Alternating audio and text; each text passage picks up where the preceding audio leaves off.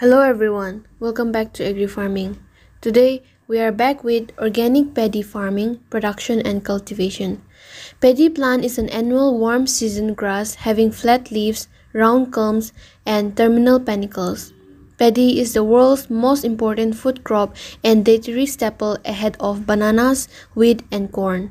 The main important rice growing states in India are Bihar, West Bengal, Orissa, Andhra Pradesh, Uttar Pradesh, Madhya Pradesh, Maharashtra, Haryana, Assam, Punjab, Tamil Nadu, and Karnataka.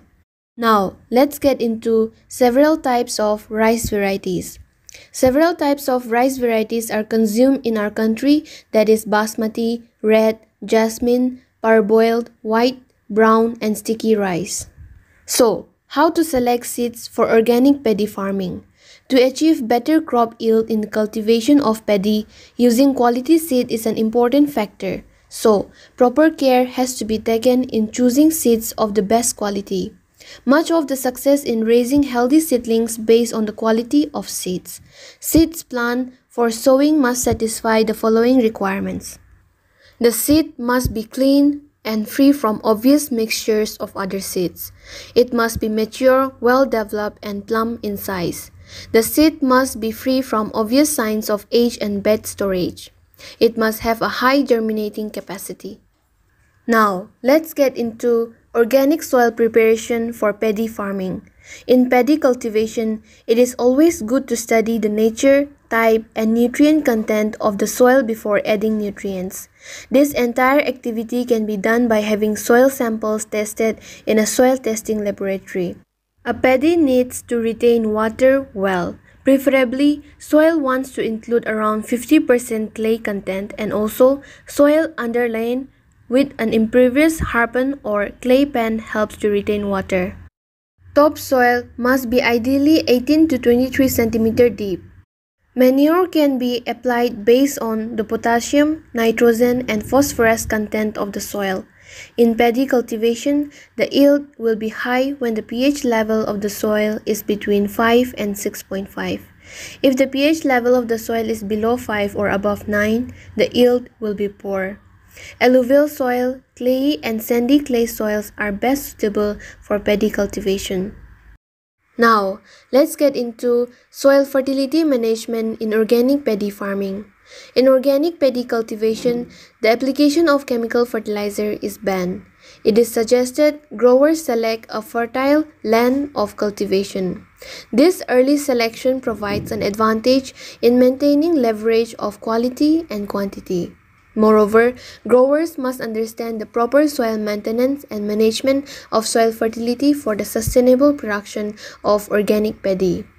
The followings are the references of soil fertility management as follows. The first is no burning of remaining straws and tillers in addition to any other organic materials in the rice field. This will cause loss of beneficial microorganisms and organic matters.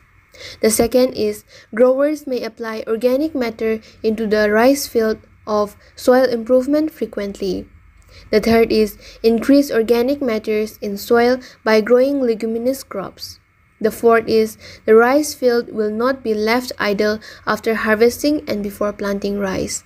The area must be covered with leguminous crops and others such as cowpea, jack bean or sword, Indian, hemp and Sesbania rostrata.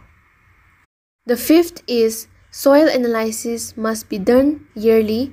Adjust the soil pH level to 5.5 to 6.5. In the case of high acidic soil, it is suggested to use marl or wood ash. The atmosphere contains around 78% nitrogen. In paddy cultivation, some of the microbes that are usually used for the purpose include phosphobacteria, azotobacter, and azospirillum. They are not only decrease the cultivation cost of using chemical fertilizers but also increase the yield and fertility of the soil. Plant growth regulators are Panchagavya and Amirtha Karaisal. Now, let's see selection of seed in organic paddy farming. In paddy cultivation, seed selection always plays a major role. The seed selected for cultivation must be uniform in size, age, and free of contaminants. They must also have good germination capacity. Spacing requirement in organic paddy farming. For normal sown crops, the suggested spacing between rows is 20 to 22.5 cm. When sowing is delayed, a closer spacing of 15 to 18 cm must be adopted. The seed rate and seed treatment of organic paddy farming. For 1 acre of land, 8 kg seeds are sufficient for planting. Seed treatment helps to increase germination potential, vigor, and resistance to disease and pest. Below are different methods of paddy seed treatment.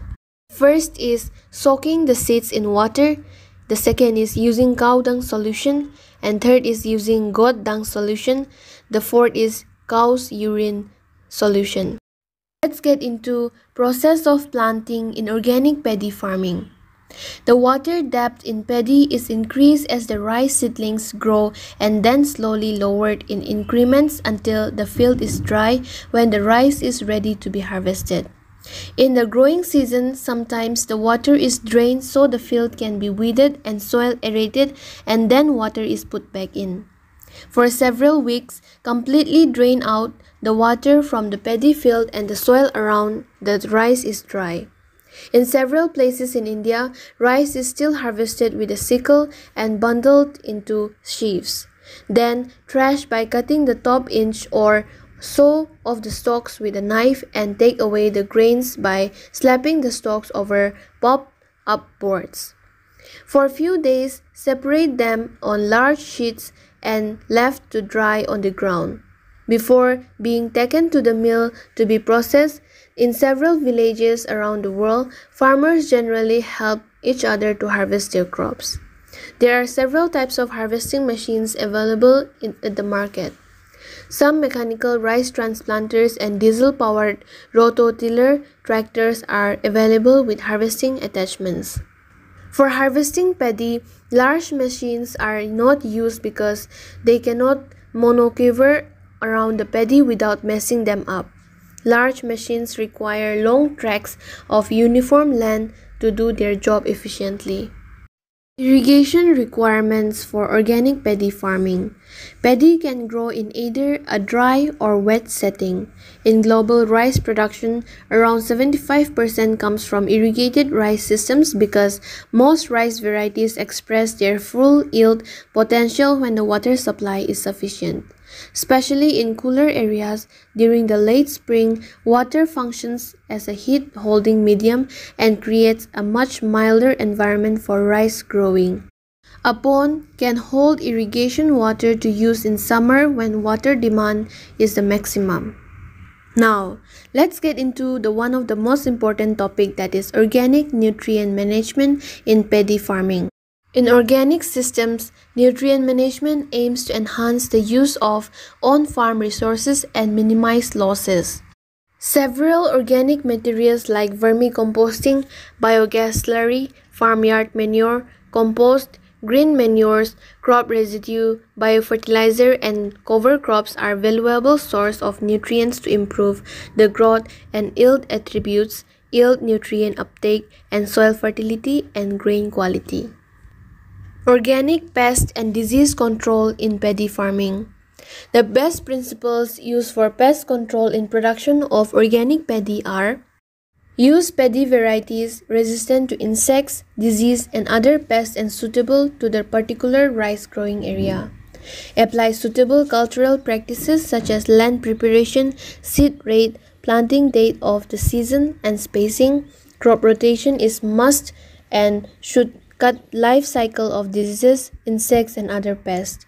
The maintenance of soil fertility and the balance of nutrient along with water management for better growth and healthy rice plants. Such cultural practices thus decrease the damage caused by insects, disease, and other pests.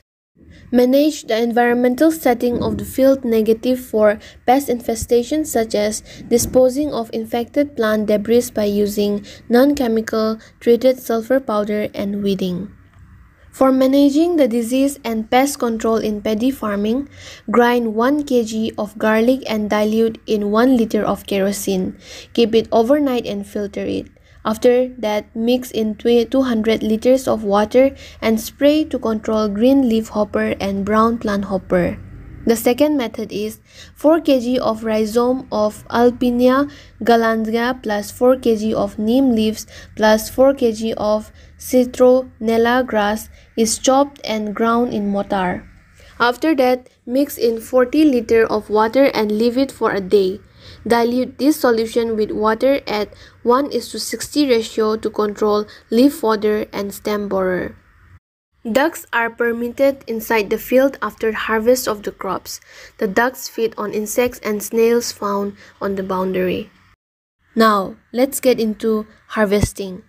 The better quality and maximum quantity of paddy depend on the harvesting of the crop at the right maturity stage. Harvesting of paddy is the process of collecting the mature paddy crop from the field. Based on the variety, around 115 to 120 days after crop establishment, a paddy crop generally reaches maturity. Harvesting activity mainly contains cutting, stacking, handling, thrashing, cleaning, and hauling.